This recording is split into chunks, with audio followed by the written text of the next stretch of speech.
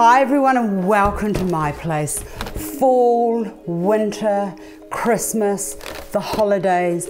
I've had the best idea on how to share, how to do something that is that season with that fall that you can do now as we go into the fall, into the winter a little bit of Halloween. You might even want to go into Christmas.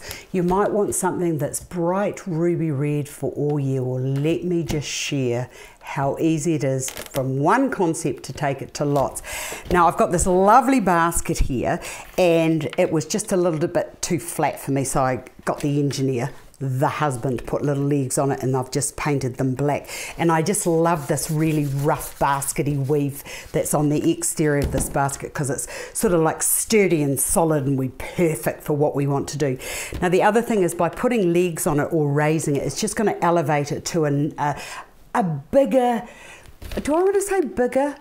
No, it's just going to look a little bit higher and, yeah, I do want to say big. It's going to look larger. That's what I want to achieve. Right, now, the first thing I want to do is to put in some of this gorgeous red maple, which I absolutely love. And thanks to the open weave of the cane or whatever the reed is that's on the outside of that, it just makes it easy for placing these. I could tie them into place, but oh, don't really see the point in doing that. So I'm just gonna ring these around like so. And you can bring some of the leaves down if you want to, or you could just, oh, I don't know, you could, you can please yourself how you want to put these in, but I just thought that those just hanging out the side would be really lovely. And just by, eh, by bending and manipulating those stems, you're going to make it appear as if it's a little bit bigger. And the grace of the red coming out the sides, sides will just extend it. And I just really love that colour of red for this time of the year, you know. And I think that nature's really clever by how she provides us with these beautiful different colourways throughout the seasons. So, like the red is like a lovely warm colour, perfect for this time of the year. Right, the next thing I'm going to do is I'm going to put this into the centre because I want to elevate it because I want to put things onto the at the top of it. Now I've got some roses here. In fact, I've got four roses and because I've got that little dish there, that's going to keep everything from falling out because it's going to contain it. So we'll put one over there. I'm going to bring one to go around and over the side. And because it is the winter, we don't have to have things all neat and, you know, all neat and tidy together because I think that the fall to me and, and the winter is sort of like things have lost their luster or they've lost their shape or the wind has got in there and sort of like battered them a wee bit. So this is just fantastic. Now, oh, I've got five of these. Oh, what was I thinking? So that can just, and I'm just just getting them so just so that they fall over the sides. And then with that, I'll just bring that around to there. And what I've done is I've actually just bent up all these stems. I could I could have left them um, straight, but I just feel that, that that little bit of movement that I uh, can achieve is going to give me the movement and the fall and the, that I want it to have. So just bending those up and if it's sick, sticking out a bit too much, it doesn't really matter.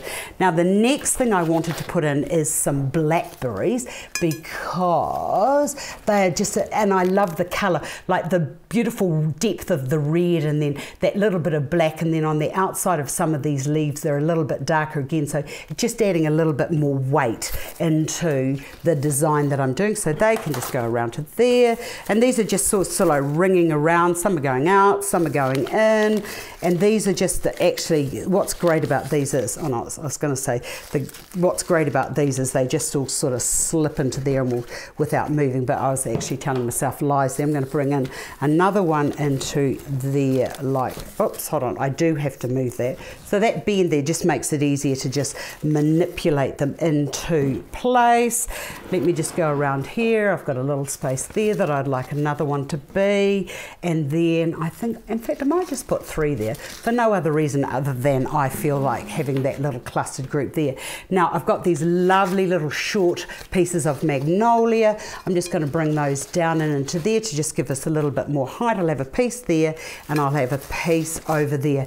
Now from there, the sky is the limit. You can pile things into the middle, you could put candles. I've got these gorgeous wooden apples that I could put into there, or uh, apples and pears, and they could all go around the outside. But what I did want to share is, like, you can see we can go big red candle, whatever, but it's nearly Halloween, and I like the fact that from one base design you can take it to a whole new level. And over here, I've got these lovely uh, roses that I made ages and ages ago.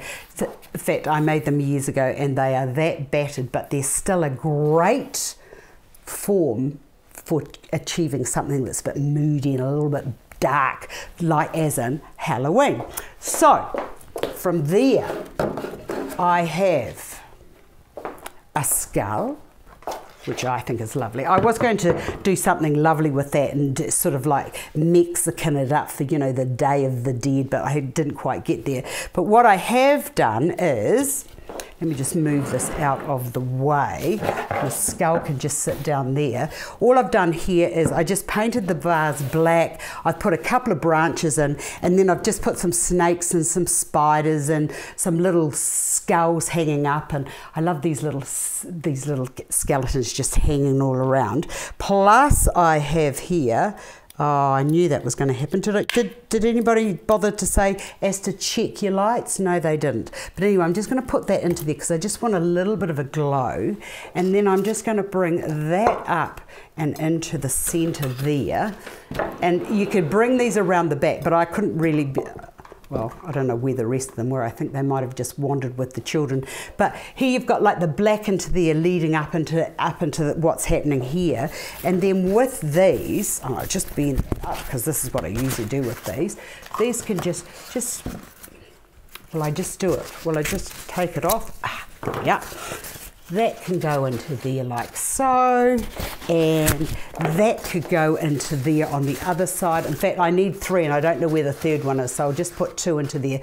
But you could put coal or you could put apples. You could put anything that you liked into that to just take that one simple concept design into Halloween. So I'm going to call it the holidays winter fall Christmas, whatever. I like this kind of designing because once you've got it, it's a standalone that can be pulled out whenever you want to do something with it. I hope you've enjoyed this. I've enjoyed sharing with you and I look forward to seeing you all again another day.